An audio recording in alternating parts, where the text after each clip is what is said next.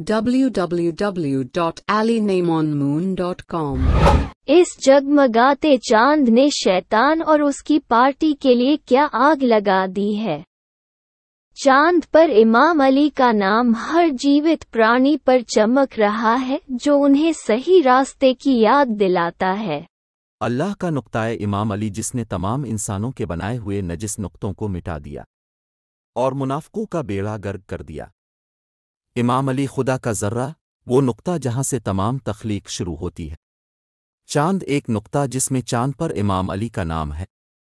सुनी, शेख हाफिज सुलेमान इब्न अलकंदोजी हनफी की लिखी हुई सुनी, किताब जन्नत अलमवाद दाता में उन्होंने दर्ज किया है कि इमाम अली ने फरमाया, जो कुछ हो चुका है और जो कुछ होना बाकी है, इसका इल्म कुरान में है और कुरान का तमाम इल्म सूरा फातिहा में है और फातिहा का तमाम इल्म उसकी बिस्मुल्लाह में है और बिस्मुल्लाह का तमाम इल्म बाब में है। और मैं अली तबा के नीचे नुकता हूँ। जो कुछ हो चुका है और जो कुछ होना बाकी है, इसका इल्म कुरान में है। कुरान मजीद में सूरा फातिहा मौजूद है। सूरा फातिहा सात आयात पर मुश्तमिल है, इसमें पूरे कुरान का इल्म मौजूद है। कुरान की सूरा फातिहा का आगाज़ तीन अरबी अल्फाज बिस्मुल्लाह से होता है, जिसका मतलब अल्लाह के नाम से है। बिस्मुल्लाह के तीन अल्फाज में हमें वो तमाम इल्म मिलता है, जो कुरान की सूरा फातिहा में है। कुरान में बिस्मुल्लाह अरबी हर्फ बाव से शुरू होता है, जिसमें एक नुक्ता होता है। अरबी में हर्फ बा, अंग्रेज़ी में बी के बराबर है। अरबी में हर्फ बा एक नुक्ते पर मुश्तमिल है। नुक्ते के बगैर अरबी में कोई हर्फ बा नहीं है। इमाम अली अलैहि ने वजाहत की कि कुरान मजीद में शुरू से आखिर तक हर चीज़ का इल्म मौजूद है और कुरान का खुलासा कुरान में मौजूद अरबी हर्फ बा के नुक्ते में अरबी हर्फ बा नुक्ते के बगैर कभी भी हर्फ नहीं बन सकता। इमाम अली अलैहि वो नुक्ते हैं जिसमें तख्लीक की इब्तिदा से इंतहा तक हर चीज़ का इल्म है। अल्लाह ताला ने इस वसी कायनात में चाँद को एक नुक्ता बनाया है जिसकी सतह पर अरबी में अली का नाम है। तमाम मेहरबानों में सबसे ज़्यादा रहम करने वाला अल्लाह तमाम मखलूक़ात को बता रहा है कि इमाम अली हर चीज़ का इल्म रखने वाली हस्ती है। इमाम अली वो नुक्ता है जहाँ से तमाम मखलूक़ात का आगाज़ होता है और तमाम इल्म का अखराज होता है। ये इमाम अली नुक्ते से फैलता हुआ इल्म है जो हर चीज़ को तख्लीक करता है। अल्लाह ताला तमाम मखलूक़ात को इमाम अली का फ़लसफ़ा नुक्ताए नज़र दिखाना चाहता है इसलिए जब भी अल्लाह ताला कायनात में किसी तख्लीक की इब्तिदा करता है तो तख्लीक की इब्तिदा नुक्ते से करता है।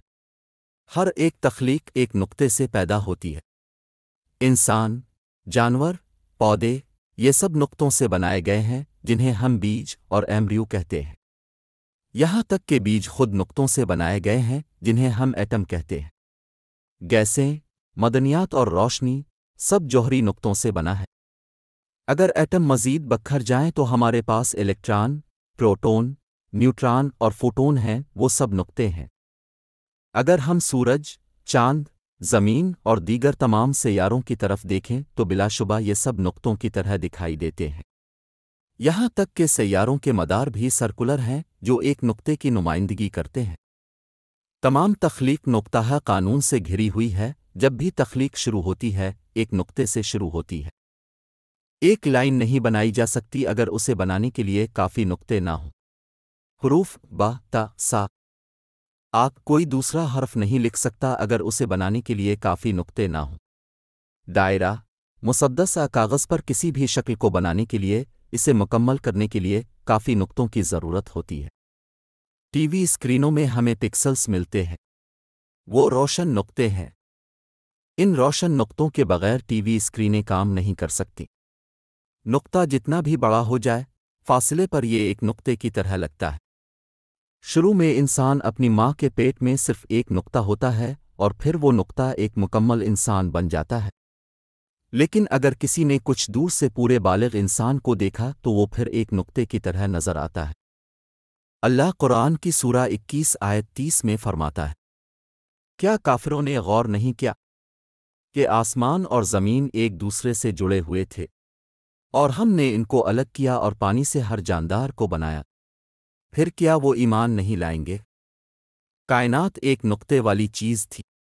और फिर अल्लाह ताला ने इसे वसत दी और नुक्ते ने खरबों कहकशाओं के साथ एक बड़ी कायनात बन गई।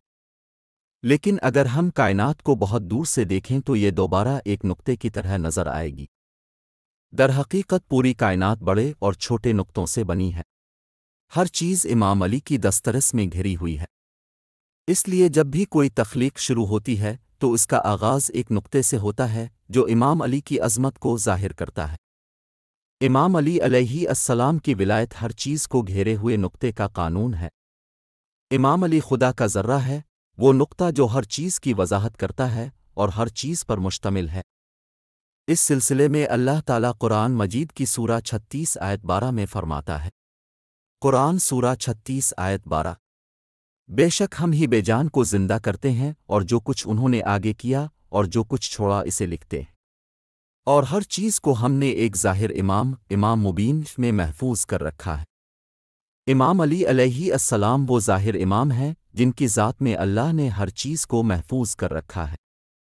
लिहाजा जब भी अल्लाह ताला किसी तख्लीक की इब्तिदा करता है तो उसकी इब्तिदा इमाम अली के ज़रिए करता है। अल्लाह ताला ने इमाम मुबीन को ज़ाहिर करने के लिए चाँद पर अली का नाम ज़ाहिर किया है। और इसी तरह इसने इस वसी कायनात में चाँद को एक नुक्ता बना दिया है, ताकि ये ज़ाहिर हो कि इमाम अली अलैहि अस्सलाम हर चीज़ का इल्म रखने वाले हैं। अल्लाह कायनात में ज़ाहिर नहीं हो सकता। अल्लाह ताला मखलूक़ात में ज़ाहिरी शक्ल निशान ज़दा और काबिल तवज्जो नहीं हो सकता, इसलिए इसने इमाम अली अलैहि अस्सलाम को ज़ाहिरी शक्ल, मरी शक्ल निशान ज़दा शक्ल के लिए पैदा किया है। माहिर तबीयात पॉल डेरिक ने कहा, जगह कुछ भी नहीं है। न ही जगह। जब तक कि इसके मरकज़ में कोई शख्सियत खड़ी ना हो। अल्लाह ताला ने इमाम अली अलैहि अस्सलाम को कायनात की बुनियादी शख्सियत बनाया है, ताकि रहमान को पहचाना जा सके। इस सिलसिले में तारिक बन शहाब ने पूछा, ए अमीर अलमोमिन इमाम अली के, इमाम के फ़ज़ाइल बयान फरमाएँ। अमीर अलमोमिनीन इमाम अली अलैहि ने जवाब दिया, इमाम की किसी एक सिफत को भी पहचानने का हुनर और मुशाहिदा किसके पास है? आ उसकी तस्वीर ए इदराक कर सकता है। जब वो इमाम की हकीकत को बयान करने की कोशिश करते हैं तो ज़मीन व आसमान आजिज़ हो जाते हैं। इमाम वो है जो कायनात के मरकज़ी नुक्ता में है, इस तमाम मदार का महवर है, इमाम उन तमाम चीज़ों का राज है जिसका वजूद मुमकिन है, इमाम खालिक इलाही की किरण है। इमाम अजीम तरीन और अजीम की अजमत है। आसमानों और ज़मीन की इज़्ज़त। ये रवायत हदीस तारिक के खुतबा का सिर्फ़ एक मुख्तसर हिस्सा है। चाँद इस वसी कायनात में एक नुक्ता है और अल्लाह ताला ने इमाम अली का नाम चाँद पर रखा है। इस तरह इमाम अली वो नुक्ते हैं जहाँ से तमाम मखलूक़ात का आगाज़ हुआ। इमाम अली का नाम चाँद पर लिखा है और मुसन्फ़ अली रिजवी ने चाँद पर इमाम अली के नाम के बारे में 370 सफ़हात पर मुश्तमिल किताब लिखी है। ये किताब अंग्रेज़ी में है, लेकिन गूगल ट्रांसलेट के ज़रिए आसानी से उर्दू ज़बान में तर्जमा की जा सकती है। किताब का नाम है, चाँद की निशानी नाजिल हो गई, इस्लाम पूरी दुनिया में फैल जाएगा। चाँद पर इमाम अली का नाम अल्लाह की फ़तह का झंडा है। किताब www.alinemonmoon.com से डाउनलोड की जा सकती है। चाँद पर इमाम अली के नाम के हवाले से कराची, पाकिस्तान में तीन रोज़ा कॉन्फ्रेंस का इनकाद किया गया। इस कॉन्फ्रेंस की मुकम्मल वीडियो यूट्यूब पर उर्दू ज़बान में देखी जा सकती है। इस वीडियो में हमने चाँद कॉन्फ्रेंस पर इमाम अली के नाम का सिर्फ़ 10 मिनट का वीडियो ट्रेलर दिखाया है। www.alinemonmoon.com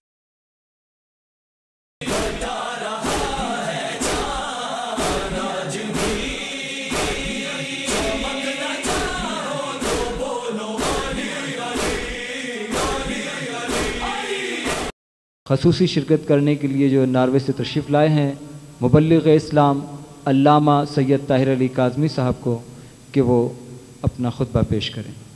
अल्लामा सैयद ताहिर अली काजमी साहब। नारे तकबीर।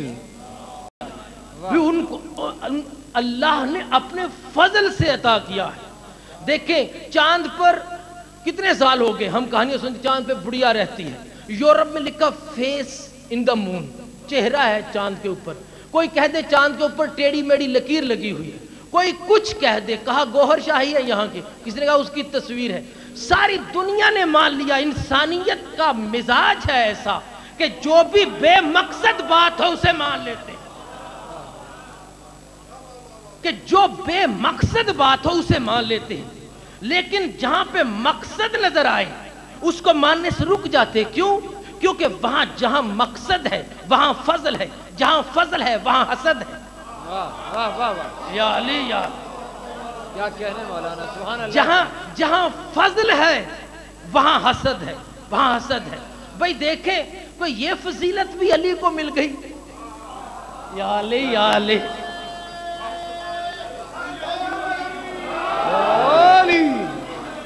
भाई ये फजीलत भी अली को मिल गई। मुझे हैरानी है। कि मुसलमान अली का नाम लेने से क्यों घबराता है? अली आए तो इस्लाम आया। अली ने आँख खोली तो हिकमत के दर खुले। अली बोले तो कुरान को ज़ुबान मिली। अली ने हाथ उठाया तो अदालत को मीजान मिली। अली चले तो तौहीद के चराग चले। अली ने अली बढ़े तो कुफर की जुल्मत भागी। अली सोए तो रिसालत की किस्मत जागी। अरे बिस्तर पे कदम तो नफ्सुल्लाह बने। खैबर में अलम तो यदुल्लाह बने। मंजर कौसैन पे नज़र तो ऐनुल्लाह बने। आहा कौसैन अली के किनारे। कौनैन अली के सहारे। बिगड़े तकदीर इस्लाम तो रिसालत अली को पुकारे। अरे तुम किस इस्लाम में चल पड़े प्यारे? अली को छोड़कर किनारे किनारे। आहा सुभान अल्लाह सुभान अल्लाह क्या कहने सुभान अल्लाह सुभान अल्लाह सुभान अल्लाह सुभान अल्लाह आली। अल्लाह सुभान अल्लाह फिर अदा कीजिए अल्लाह। सुभान अल्लाह फिर अदा कीजिए सुभान अल्लाह सुभान अल्लाह। क्या कहने? सुभान अल्लाह सुभान अल्लाह क्या कहने? जहाँ जहाँ तौहीद की इबादियत है। वहाँ वहाँ अली की विलायत है। जहाँ तक रसूल की रिसालत है वहाँ वहाँ अली की खिलाफत है। जहाँ इस्लाम का इकतदार है वहाँ अली की हिदायत है। अरे तुम अली का नाम क्यों नहीं लेते? क्या शिकायत है? अली का नाम लेना मोमिनों की इबादत है। अली का नाम लेना मुजाहिदों की आदत है। क्या कहने? नाम अली मुश्किल कुशा है ये जिब्रील जानता है। अली का नाम जीत की अलामत है कौमी टीम मानती है। अली का नाम फतेह की जमानत है पाक फौज जानती है। सारा जहाँ अली से सारा जहाँ पढ़ रहा है अली से सारा समाज चल रहा है। हर दम अली अली है हर कदम अली अली है। नगर नगर अली है, गली गली अली है। पहले ज़मीन पर भी, अली अली था आज चाँद पर भी, अली अली। नारे हैदरी चमन चमन, गली गली। नगर नगर, गली गली। नारे हैदरी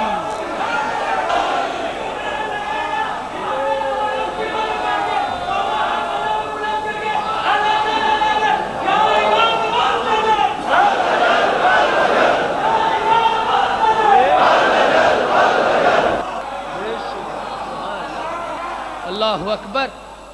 भाई, ये हर मकाम पर कायनात में अली इसलिए है, जालिका फजलुल्लाह युक्ति है मैं ये शाह। ये अल्लाह का फजल है, जिसे चाहता है देता।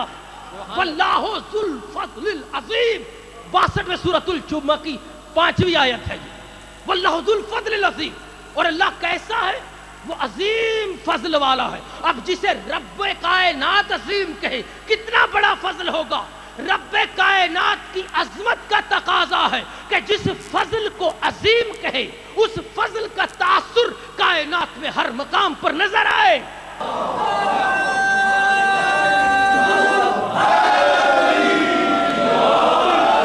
हैदरी, उस फजल का तासुर कायनात में हर मकाम पर नज़र आए बेशक। इसलिए हर जगह अली अली है कि अल्लाह और रसूल ने चाहा है कि अली अली हो।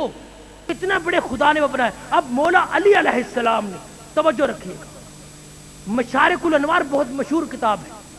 उसमें एक मर्तबा खुतबा दिया है मौला अली अलैहिस्सलाम ने मशारिकुल अनवार में।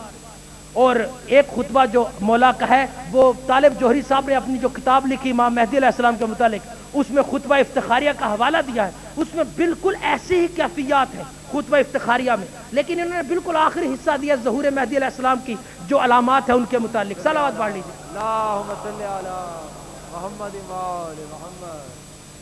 अब मौला अली अलैहिस्सलाम से सलमान और बूजर ने पूछा है रिवायत शिया रिवायत है?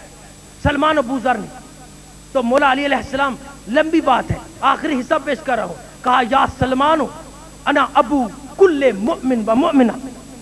ऐ सलमान, मैं हर मोमिन और मोमिना का बाप हूँ। या अना तामतुल कुबरा। अरे, मैं वो सबसे बड़ी क्यामत के नाम है।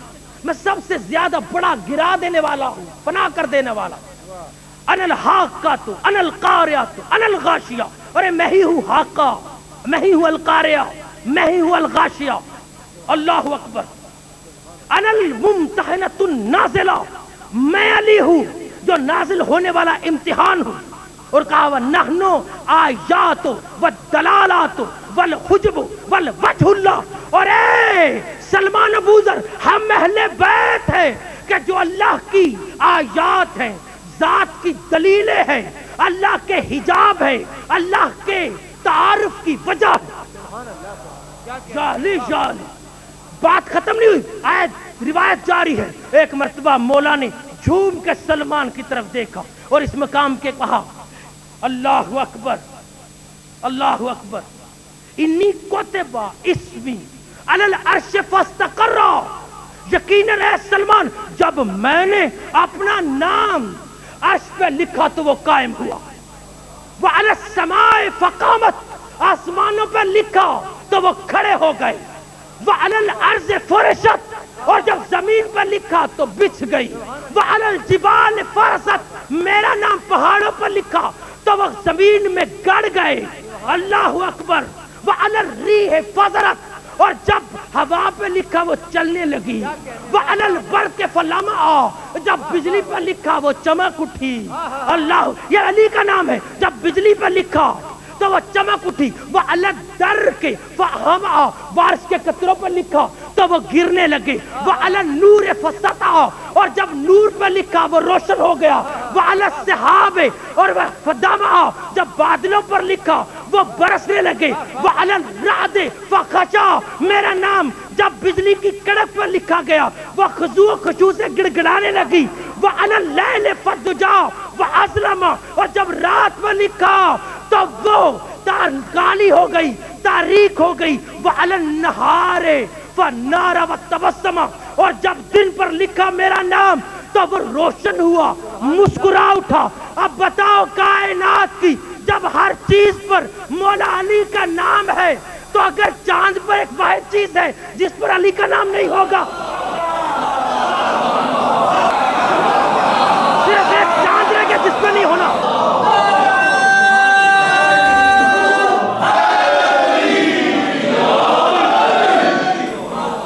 कायनात की हर चीज़ पर मौला अली का नाम है।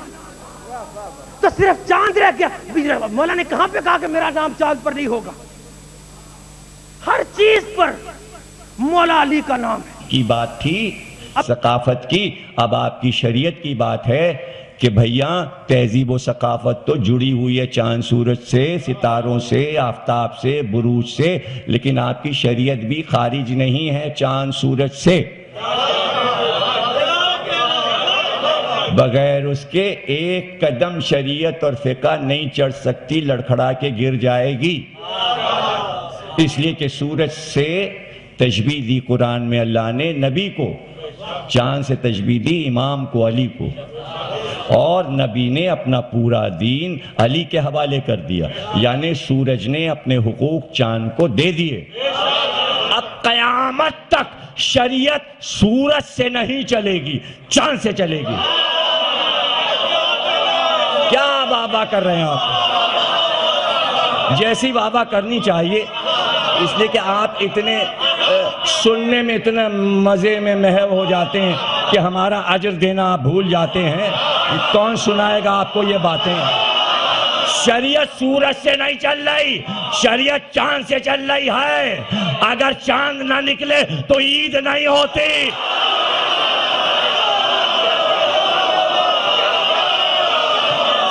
ना निकले तो रमज़ान नहीं होता। अरे अगर आज ना निकले तो ईद मिलादुन नबी गया। चाँद निकले तो तौहीद का काम हो। चाँद निकले तो अव्वल तौहीद दूसरे रोज़े। वाजिब रोज़े रखे नहीं जा सकते। जब तक चाँद ना हो, रोज़े भी चाँद। अगर चाँद ना हो तो जक़ात वाजिब नहीं होती। चाँद ना निकले तो जिहाद नहीं होता। चाँद ना निकले तो खुम्स नहीं मिलता।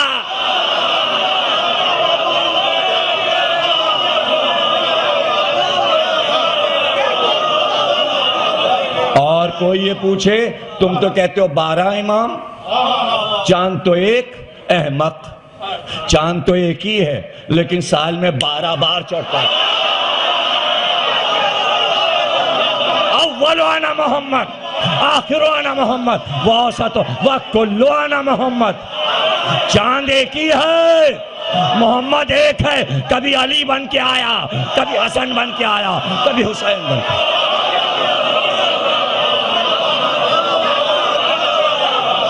हाँ शरीयत जो है वो चाँद से मुतालिक है।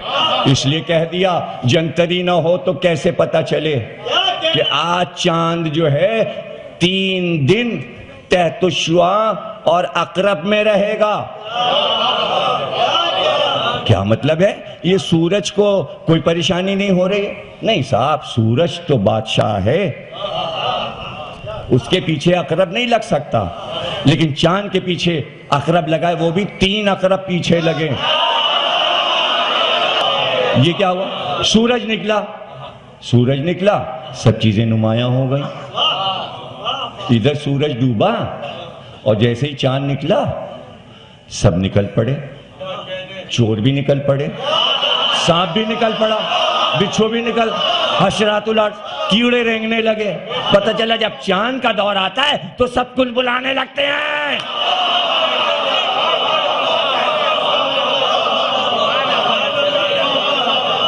तो भाई, सूरज का दौर खत्म हुआ। चाँद का दौर क़यामत तक जा रहा है।